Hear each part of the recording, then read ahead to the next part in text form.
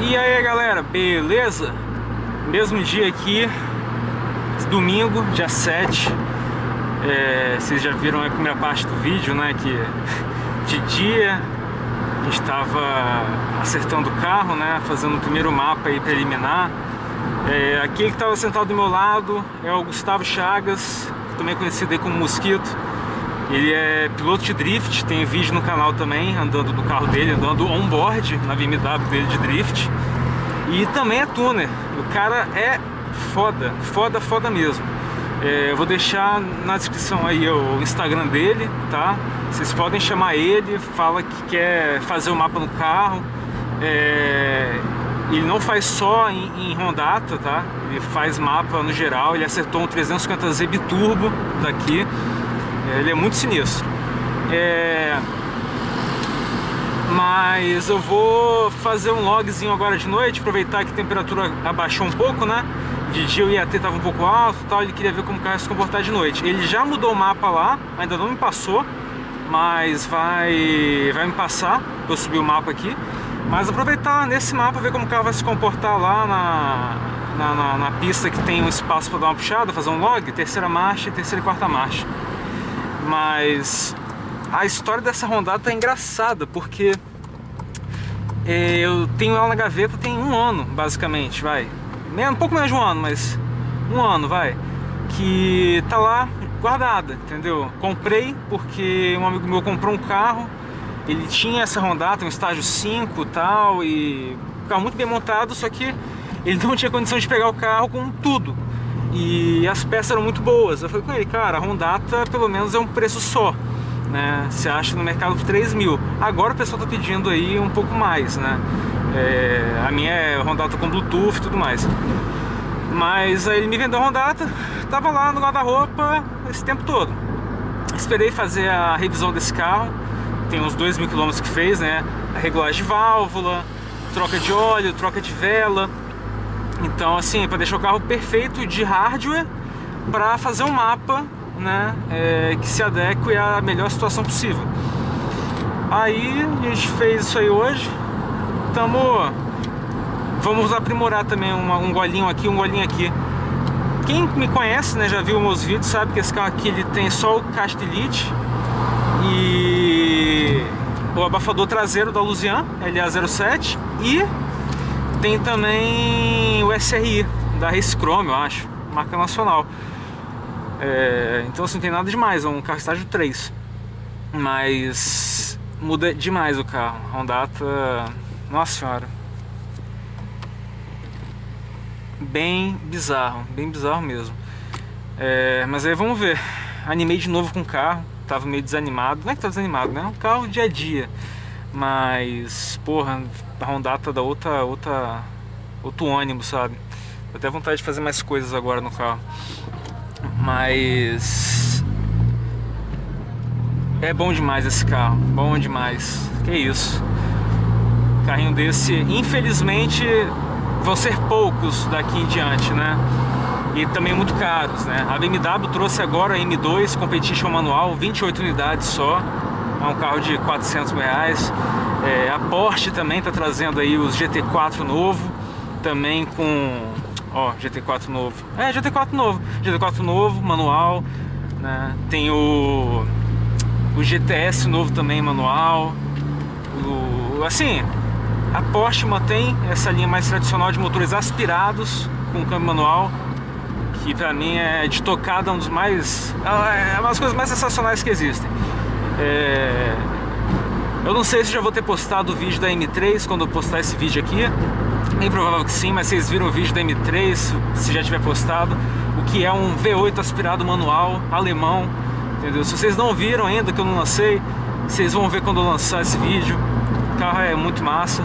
E uma coisa que é muito mais barata do que performance é experiência, tá? A experiência de guiar um carro não é intrínseco à potência do carro. E pouca gente entende isso, entendeu? Eu me divirto mais num carro desse do que no GTI.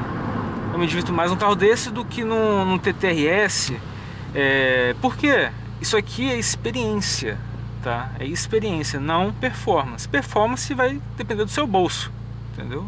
Não do seu carro. Performance, você pega um GTR aí, um 911 turbo, gasta 200 mil, você tem um carro de 1.200 cavalos na roda, entendeu? Mas quem tem a grana para comprar um carro desse e gastar mais uma fortuna de preparação? Então assim, eu sou mais ligado à experiência do que performance. Sempre foi assim. É... E não sou puxa-saco de uma marca. Quem me acompanha no canal também sabe disso aí. Não tenho preferência por A, nem B, nem C. Tá? Se for falar uma marca minha de paixão, é Porsche né, e McLaren. São duas marcas que me realmente eu, eu bato palma. Mas no geral eu sou uma pessoa muito tranquila em relação a carro. Eu sou entusiasta, não fanboy. É... Mas voltando ao assunto do vídeo que é a Rondata, olha só umas coisas legais que dá pra fazer. Se eu apertar o botão aqui do Cruise Control e segurar para baixo, o RPM do carro ele vai se tornar um medidor de AF. Então olha só, apertei e segurei. Olha que legal.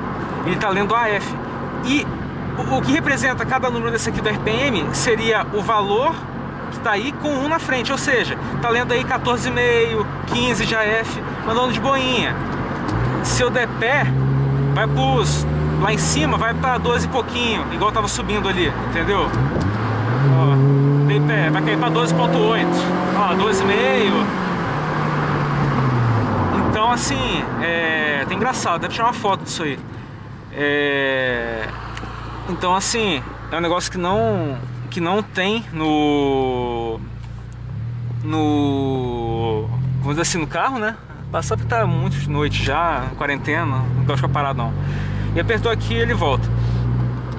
Ele também tem o controle de largada, igual vocês viram na primeira parte de manhã, né, que você consegue mudar aqui no, também no, no, no controle de cruzeiro. Você consegue trazer do 5000, que está setado lá no computador, na Honda na, na central do carro, e diminuindo até 3000.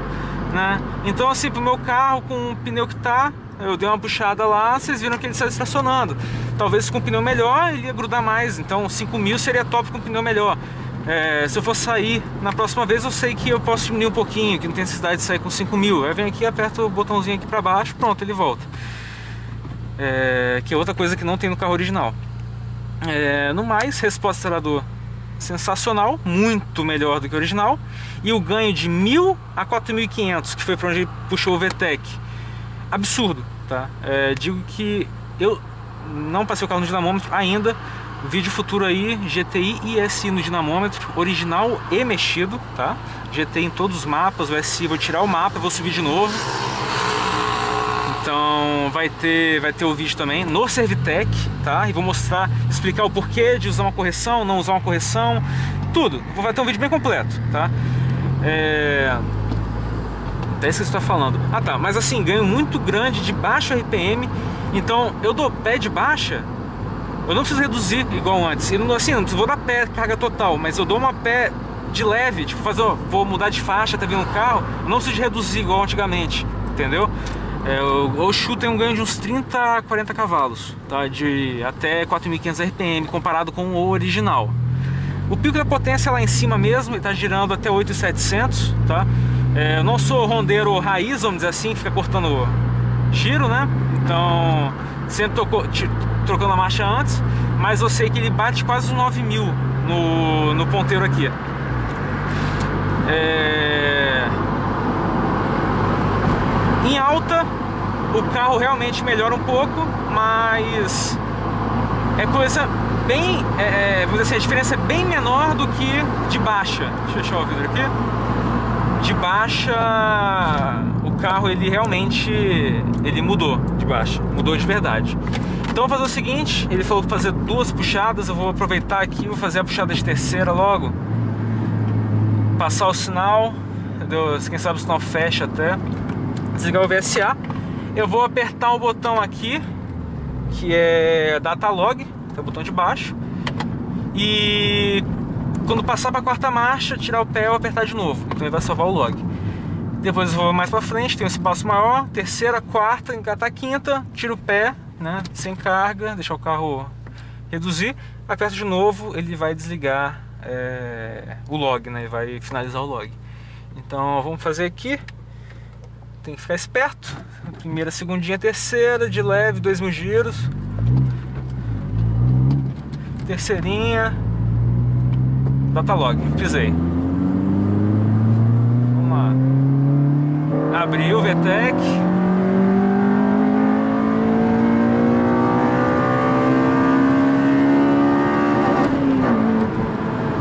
De apertei aqui.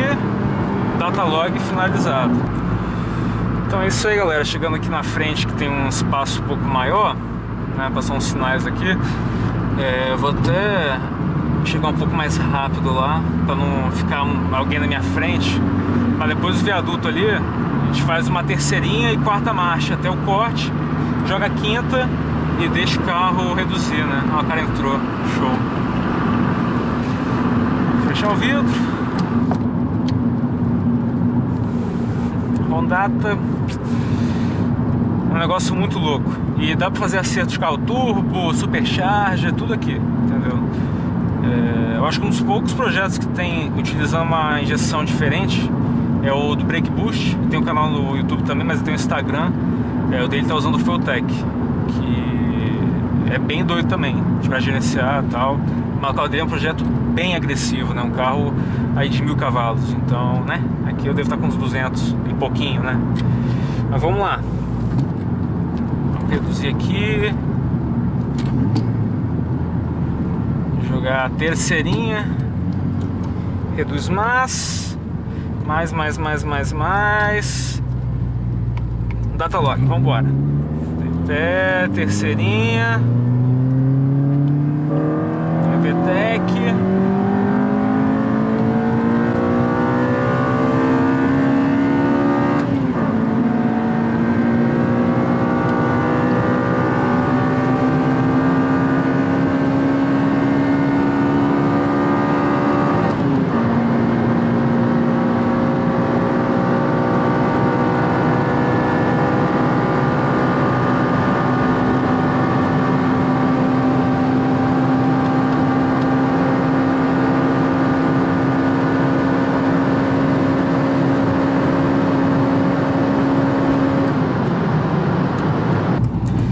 Vamos lá.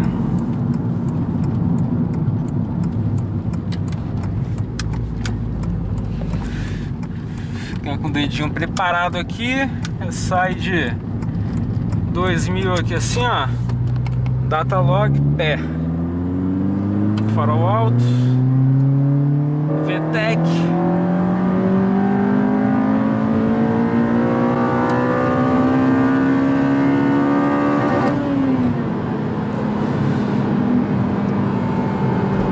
Pronto. Acho que deu pra fazer uma um datalog legal.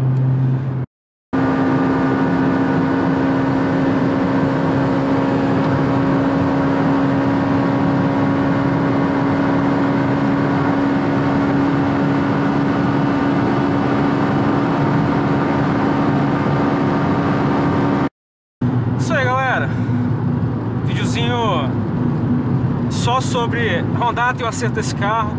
É, a gente vai ter um videozinho lá na- no dinamômetro falando sobre como funciona o dinamômetro, né, normas, passando GTI, passando esse carro, mapa original, remap, é, digo, com mapa, né, sem mapa, com mapa. Vou explicar a diferença de pigback para mapa, os tipos de pigback, um monte de coisa assim, focado mais na parte de preparação, né? E vou ver se eu faço outros vídeos dessa forma também, mais informativos, né? Muita gente me pergunta umas coisas no inbox né, do, do Instagram. É, realmente eu vejo que não tem muito conteúdo. É, eu tenho, tenho o Murta que faz um conteúdo legal aqui. O Flatout, o Flatout faz também, o Barata faz uns negócios maneiros. Mas eu acho que sempre é bom agregar, né? Então, se tem como fazer, a gente faz. É isso aí, galera. Valeu demais assistir esse vídeo. Se gostar, deixa o like, se inscrevam, se inscrevam. E compartilhe com seus amigos os vídeos, tá? Não só esse, qualquer outro que você achar legal. Isso ajuda demais. O algoritmo do YouTube ele entende se vocês gostam dos vídeos e começam a indicar os meus vídeos para todo mundo na plataforma. É, isso me ajuda a crescer e também dá vontade de fazer mais vídeos. É, então é isso aí. Valeu demais. Se não me seguem no Instagram, sigam lá, LCF Club. E se vocês querem fazer um mapa de Civic SI com um cara que é fera, Gustavo Chagas, Mosquito, também tá o Instagram dele lá embaixo na descrição do vídeo. É, pode entrar em contato falando que você viu o meu vídeo ou quero o cara fazer o mapa. Ele, ele é um cara super tranquilo, super gente boa e vai, vai responder vocês. Beleza? Valeu demais e até o próximo vídeo.